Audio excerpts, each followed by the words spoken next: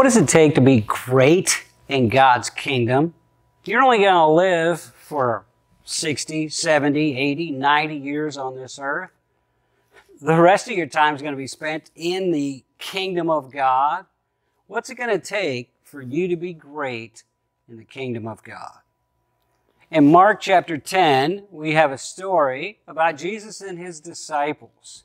Two of them, two of the leading disciples, James and John, came to him one day and they had a request. They said, Grant us that we may sit, one on your right hand and the other on your left, when you come to your glory. They felt that Jesus was going to go to Jerusalem at some point and destroy the power of the Romans, free all the Jews, and rule as king over Israel.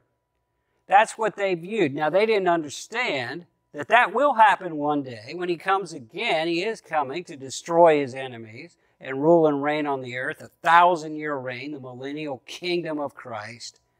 But before that, the first time he came, he was coming to die, to die for our sins and rise again so we could enter the kingdom of God, we could spiritually experience it as the children of God.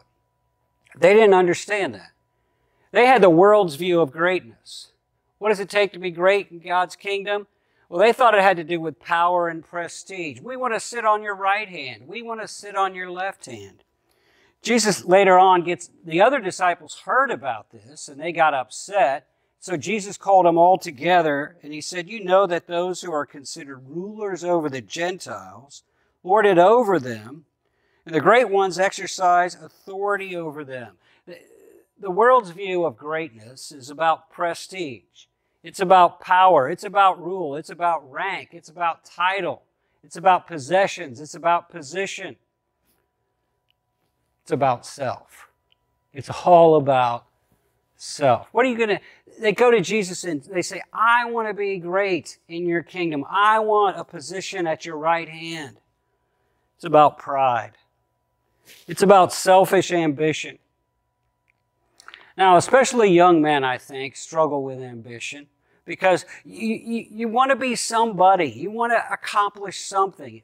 If, if you've come from privilege, you want to earn your own rights of privilege. If you come from nothing, you want to prove that you deserve something. And so it's easy to get caught up in the world's view of greatness.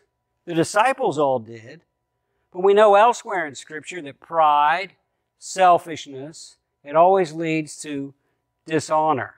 If you want to climb up, eh, you end up falling down because of your pride and your selfishness. But Jesus presented a different view of what it took to be great in his kingdom. He said, It shall not be so among you. For whoever desires to become great among you, you shall become your servant. And whoever desires to be first shall be slave of all. For even the Son of Man did not come to be served, but to serve and give his life a ransom for many. Previous in, in this section, he said, Look, you want to you want to sit at my right hand? You don't even understand what i'm about to do. I'm going to drink a cup of suffering of pain and persecution. And if you follow me eventually you're going to experience pain and persecution too. You want to be great in god's kingdom? It's painful. You'll get persecuted it's about service and sacrifice you got to become the servant of all you got to give your life a ransom for many it's about living not for yourself, but for other people. It's about humility. This is the life Jesus chose, and He's the greatest in the kingdom. This is the life that God ultimately honors. Philippians chapter 2 says, You need to be like Jesus, who, even though He was God, didn't hang on to the privileges of being God, but became a servant and obeyed God and served even to the point of death, death on the cross. And therefore, God has highly exalted him and given him a name which is above every name, that at the name of Jesus, every knee will bow and every tongue will confess that he is Lord. You want to be great? Be like Jesus. Live for others. Live in humility. Sacrifice and serve. Be willing to endure pain and persecution. What are you going to do about your selfish ambition? What does it take to be great in God's kingdom? Surrender your selfish ambition to God. Adopt His mission, His ambition, and live a life of humility, serving other people.